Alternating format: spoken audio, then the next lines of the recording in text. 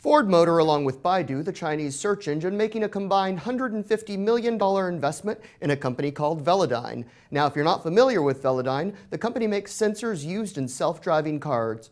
Ford CEO Mark Fields joins us from the company's Research and Innovation Center in Palo Alto, California. Mark, thanks for joining us. Oh, thanks, Ruben. Now, you showed off the car using the sensors back in January at CES. Why make this investment now? And does it help you speed up the amount of time it will take for Ford to get a self-driving car on the road? Well, this investment is part of our overall emphasis on autonomous vehicles because, you know, we see the next decade as being defined by the automated vehicle. And for us, we, we view automated vehicles could have the same societal impact that our Ford's moving assembly line had 100 years ago.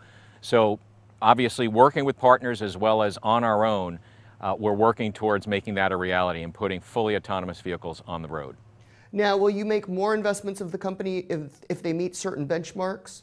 Well, we look at a lot of different benchmarks. I mean, first off, we look at technology. And as we've said before, we will do some things on our own.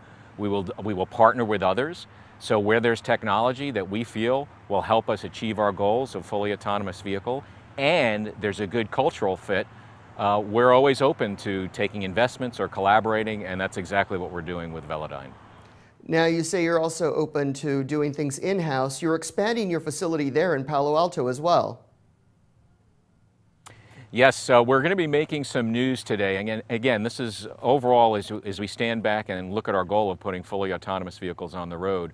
We're making news today about autonomous vehicles. We're making news today about working with new partners like Velodyne and we're significantly expanding our Research and Innovation Center here in Palo Alto. And we've been here the last number of years. We have made a lot of progress and actually faster than we thought.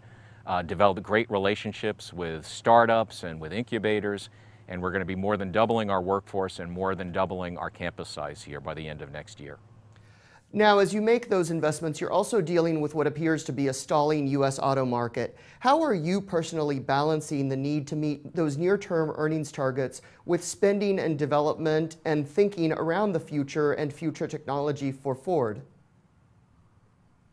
Well, it's all about having one foot in today and one foot in tomorrow. And as you know, we've, uh, we've said we're committed to our guidance for 2016, which is to be equal to or better than our record year of last year.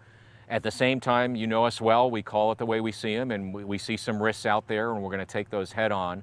But at the same time, making sure we take the long-term view, looking at societal factors, looking at where consumers are going, and that's why it's so important for us to invest for the long term while at the same time delivering today. Now, in the second quarter numbers that you released a few weeks ago, you had low fuel prices continuing to help sales of SUVs and the F-Series. But has the impact of lower gas prices run its course? Well, absolutely not. When you look at consumers, literally across the board in every segment, fuel economy is still a very important part of their purchase criteria, no matter what the gas prices are. And you know, as we've looked at the at the second half of the year and, and, and versus our guidance, you know, we are seeing a market that uh, we're seeing lower prices and higher incentives than we expected a bit of a softer retail industry, although you know still healthy but lower than we expected, and of course impacts in other parts of the world like Brexit and uh, you know currency swings. So, you know we uh, we we see the market here in the U.S. still healthy, uh, but you know coming off uh, a bit of the top where we've seen in the last uh, couple of months. Now, I know you're working on the introduction of the new Super Duty. Is that going to be enough to get potential buyers into showrooms this fall and winter? Well, the new Super, it's our first new Super Duty in, in 18 or 19 years. And uh, clearly, customers in this segment buy for capability. It is going to be the most capable uh, heavy-duty truck on the marketplace. So we're looking forward to getting into the marketplace and building on our growth that we've seen in the full-size pickup segment, driven by our new F-150 that we introduced uh, about a year and a half ago.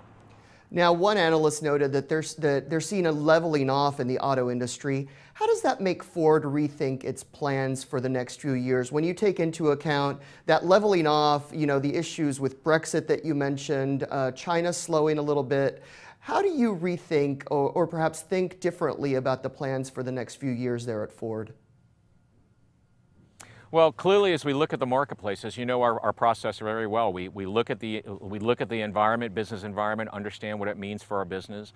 To put into perspective, you know, the industry has been, has been very healthy for the last number of years. We, we have a very solid business, but clearly we're looking at that business environment, doing the things that you would expect, making sure a major focus on our costs, but also at the same time making the investments in our products and our mobility services to drive our revenue. And that's the way we're looking at it today. That's the way we're looking at it over the next couple of years. And as we mentioned, making those long-term bets and investments for the future. Mark Fields, CEO of Ford, thank you so much for joining us from Palo Alto this morning. Thanks, Ruben. On Wall Street, I'm Ruben Ramirez, and you're watching The Street.